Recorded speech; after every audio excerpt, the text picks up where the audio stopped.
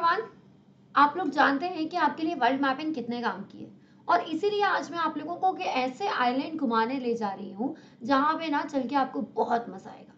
मतलब विस्की पीने का मन करेगा। पता है मैंने ऐसा क्यों कहा? क्योंकि ये आइलैंड न्यूज़ में रहा है विस्की वॉर की वजह से। दोस्तों, पिछले दिनों कनाडा और डेनमार्क ने एक आइलैंड के ऊपर जो अपना सालों पुराना सीमा विवाद था ना, उसे सुलझा लिया। और ये सीमा विवाद कैसे सुलझाया? दोनों ही देश के नेताओं ने सुलझाया। दोनों ही देश के नेताओं ने एक दूसरे को विस्की की बोतलें आदान प्रदान की। ऐसा क्यों किया? ऐसा इसीलिए हुआ दोस्तों क्योंकि ये जो आइलैंड है, इसके ऊपर आज से सालों पहले डेनमार्क ने अपनी विस्की की बोतल गड़ा दी थी और फिर कनाडा आया, उसने भी अपनी बोतल गड़ा दी।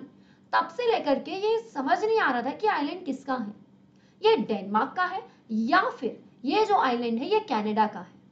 अब आखिरकार ये जो मुद्दा है, ये सुलझ चुका है क्योंकि दोनों ही देशों ने डिसाइड किया है कि वो इस आइलैंड को आधा आधा बांट लेंगे। आपके लिए काम का हो गया इस आइलैंड को जानना। चलिए तो मैं आपकी तरफ़ घुमाने ले चलती हूँ। दोस्तों, आप देख सकते हैं, ये है हमारी पृथ्वी मैया और ये हमारी पृथ्वी मैया में, ये है हमारी भारत माता, ये है हमारे भारत का नक्शा। इसी भारत के नक्शे से मैं आपको देखिए, खुद ही लेकर के चल रही हूँ। थोड़ा सा साइड में। और यहाँ पे मैं आपको लेकर के आ गई हूँ उत्तर अमेरिका। आपको दिख रहा है ये नॉर्थ अमेरिका, उत्तर अमेरिका, महाद्वीप। आप देख सकते हैं इसी उत्तर अमेरिका के पास ये है दोस्तों ग्रीनलैंड आप सब इस ग्रीनलैंड के बारे में जानते हैं कि ये भौगोलिक रूप से जियोग्राफिकली तो नॉर्थ अमेरिका, महाद्वीप का हिस्सा है, लेकिन ये है किसका? राजनीतिक रूप से इसके ऊपर कंट्रोल है इस देश का जो कि यूरोप में आता है। यूरोप के देश डेनमार्क का कंट्रोल है इसके ऊपर। अब क्या होता है? इसे उत्तर अमेरिका और ग्रीनलैंड के बीच में, यहाँ पे ना एक छोटा सा आइलैंड है। उस आइलैंड के बारे में मैं आपको बताऊँ, उससे पहले आप एक बार इस नॉर्थ अमेरिका के नक्शे को देखिए। कहाँ चला गया नॉर्थ अमेरिका रुकिए जरा, मैं आपको अच्छे से लेकर चलती हूँ।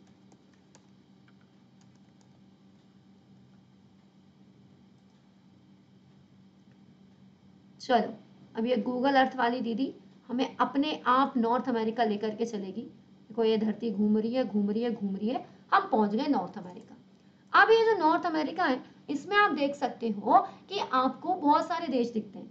ऊपर कनाडा दिखता है, फिर United States of America Mexico फिर कुछ सेंट्रल अमेरिकन कंट्रीज़ दोस्तों, ये जो कनाडा है ना, इसको अगर आप ऊपर देखोगे तो इसमें बहुत सारे प्रांत हैं। इसमें क्यूबैक है, इसमें आपका अल्बर्टा है साकवेचवान है। लेकिन यहाँ देखो, इसी कैनेडा में ऊपर, ये दिख रहा है, ये है दोस्तों कुछ आइलैंड।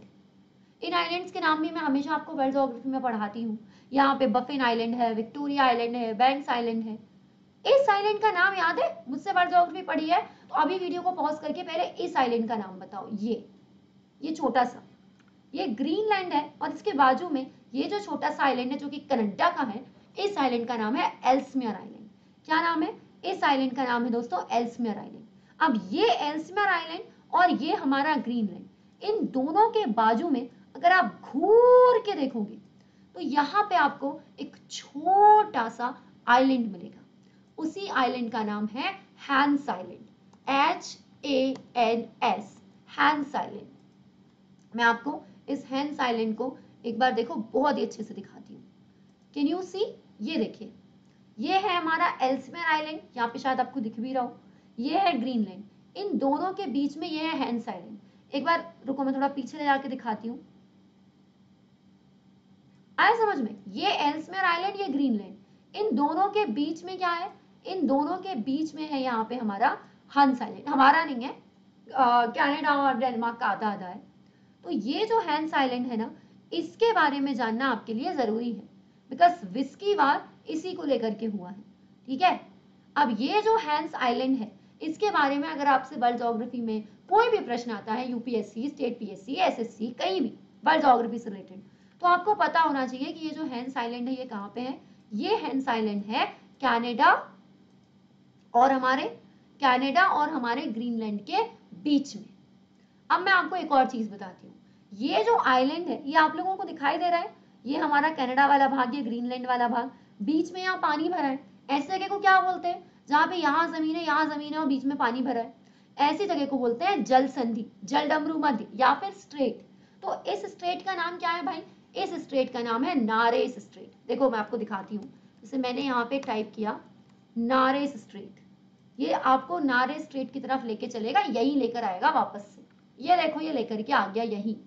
यही कहाँ पे? ये हमारा एल्समेर आइलैंड ये ग्रीनलैंड और इनके बीच में जो पानी भरा हुआ है ना ये, इसका नाम है नारेस स्ट्रेट तो इसी नारेस स्ट्रेट में क्या है? इसी नारेस स्ट्रेट में है आपका हेंस आइलैंड ठीक है? आई होप आपको ये चीज़